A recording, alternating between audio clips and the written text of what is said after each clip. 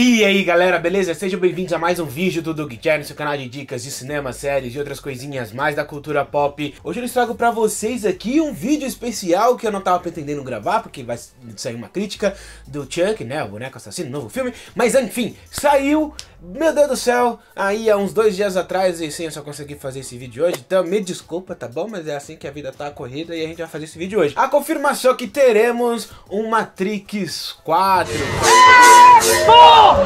กาบ้าน eu, como um grandiosíssimo fã de Matrix, estou aqui para falar, especular um pouquinho de como pode ser esse filme. Meu Deus do céu, que notícia é essa? E, e eu tô maluco, e a internet virou um alvoroço, porque Matrix, o primeiro filme de 1999, é uma das melhores coisas que o cinema já produziu, principalmente no gênero aí de cyberpunk e de cultura pop, revolucionando então a tecnologia da época, inclusive nas artes cinematográficas, tá ligado? Matrix é, é, é um dos motivos de eu gostar tanto de cinema, assim como Ghost in the Shell, que basicamente uma inspiração do outro, né? E eu gosto bastante dos dois. Matrix, cara, mudou minha vida em questão de cinema.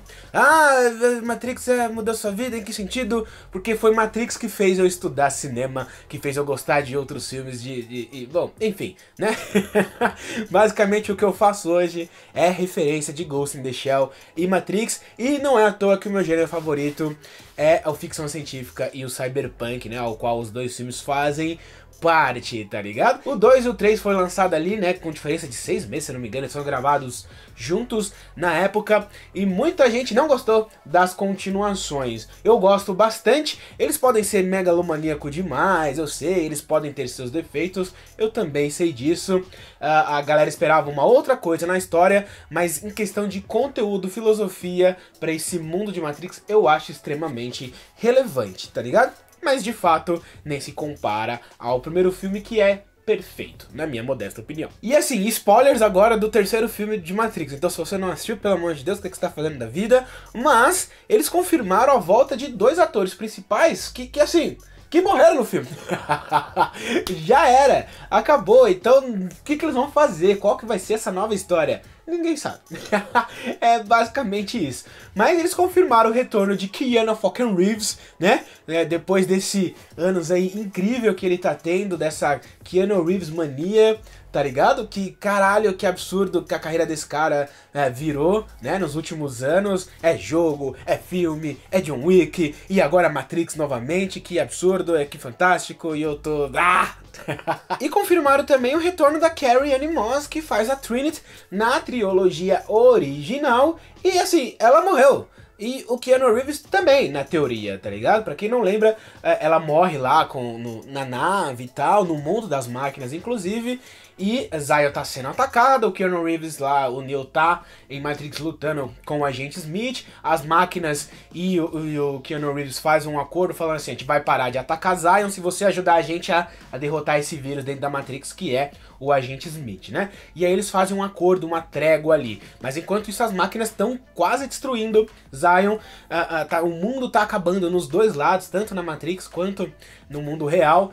E aí o Neo derrota o agente Smith, derrotando assim o vírus e selando um acordo aí, uma trégua temporária, pelo menos, que a gente saiba, né? Uh, uh, o que eles falam no final do filme, entre máquinas e humano. E, enfim, é meio que um acordo que é fechado no último filme, fechando também com a morte do, do nosso querido Neil e também da Trinity. O Neil fica em aberto ali se ele pode ter sobrevivido em um plano diferente da Matrix, se tornando assim talvez meio homem, meio máquina, tá ligado? O que é inclusive interessantíssimo, porque a ideia da Matrix rebutar, tá ligado? Uh, uh, uh, que deveria acontecer não poderia ser feito por conta do agente Smith no final lá, porque ele era um vírus, ele tava fudendo a Matrix, e as máquinas e os humanos chegaram a esse acordo. E aí vamos falar por que, como, qual vai ser o contexto dessa história nova, né, cara? Porque assim, vão trazer a Trinity de volta dos mortos. Na teoria, o corpo da Trinity tá lá, junto das máquinas, né? Eles podem pegar é, é, a Trinity. É, tá ligado? De algum jeito, o corpo reviver. O problema é como esse corpo teria envelhecido, né? Mas tudo bem.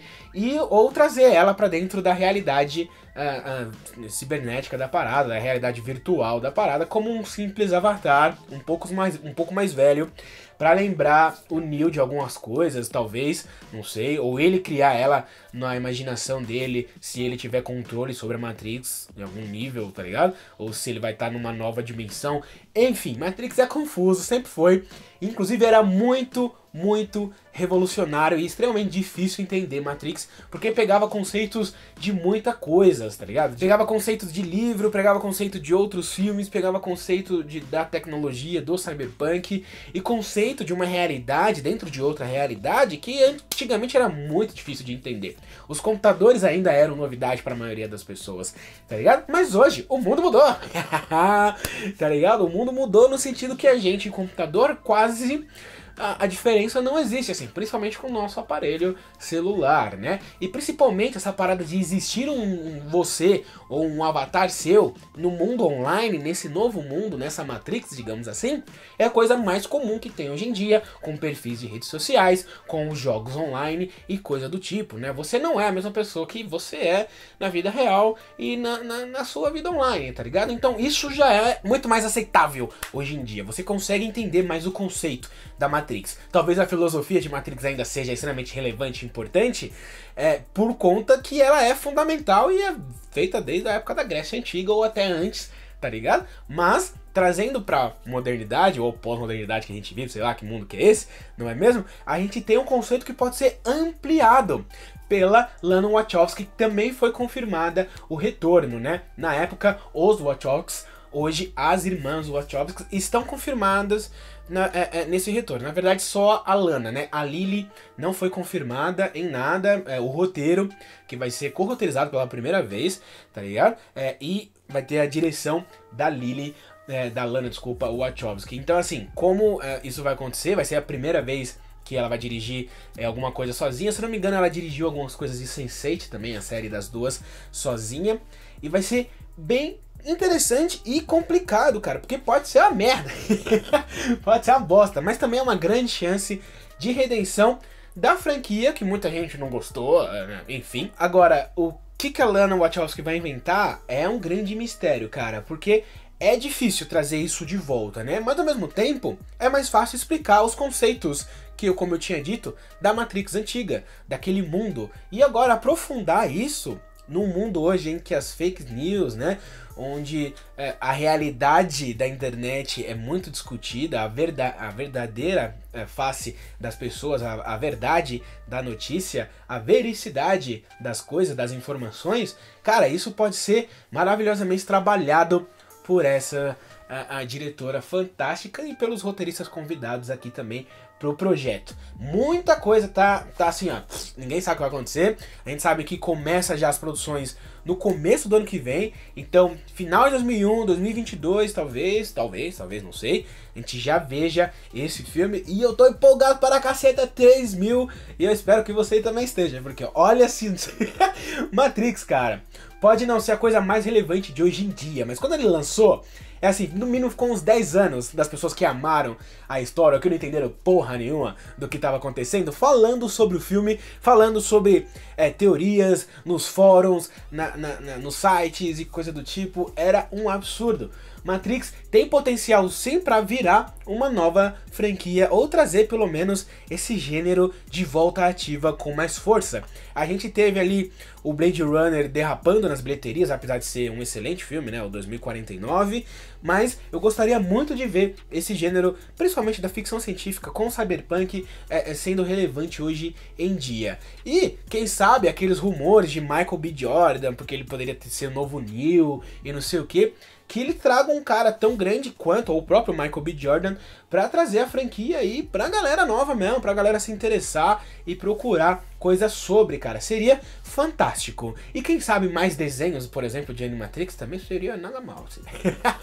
e assim, a gente não teve nenhuma confirmação do Lawrence Fishburne se ele vai estar, se ele não estará no filme. Ele, para quem não lembra, ele é o Morpheus, né, cara? Então assim, e ele foi o único que sobreviveu no final, né, do, dos três ali, foi o único que sobreviveu ao final do filme, né, da trilogia original. Então assim, poderia trazer ele de volta, ou ele poderia ter morrido. Quem sabe um Michael B. Jordan, inclusive, é, poderia ser filho dele, ou ele seria um novo Neil. Enfim, é muita coisa louca. A gente tem que ver uh, uh, como elas vão conseguir encaixar, o que, que vai desencadear a necessidade de trazer esses personagens de volta dentro do contexto da Matrix. Matrix é sempre um mundo que pode ser expandido, inclusive muita gente reclamou disso na época quando os outros dois foram lançados. Ele pode ser muito expandido para muitas histórias diferentes, porque, mano, tecnologia, é um mundo virtual, tudo pode ser criado, tá ligado?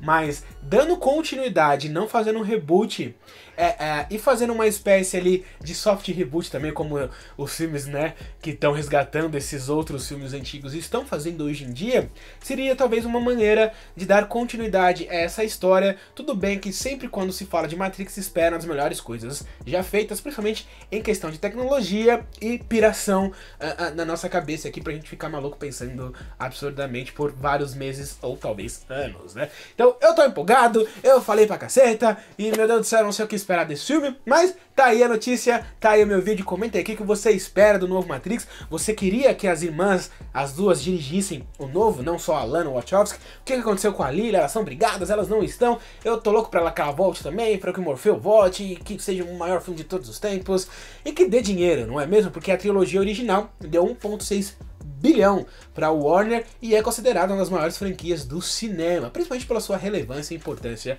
para a indústria, né? Ah, caralho, eu tô empolgado, né? Não se esqueçam de me seguir nas minhas redes sociais, estão aparecendo aqui nesse momento, Facebook, Twitter e Instagram. Passa lá pra gente trocar uma ideia, pra gente ficar Mac, pra gente ficar legal, pra vocês ficarem sabendo coisas, novidades desse canal lindo, maravilhoso. E no mais, beijo na bunda, até a próxima, like, compartilha e tchau!